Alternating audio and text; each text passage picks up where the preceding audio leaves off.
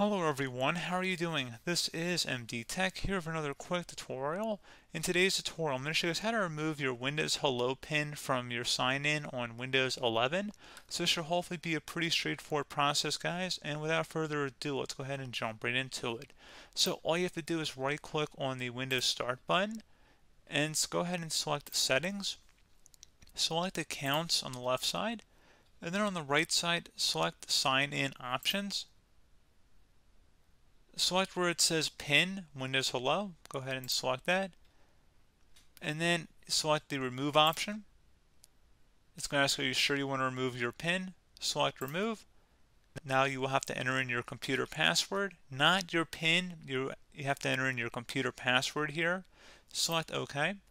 And that's all you have to do. So pretty straightforward process guys. I do hope I was able to help you out. And I do look forward to catching you all in the next tutorial. Goodbye.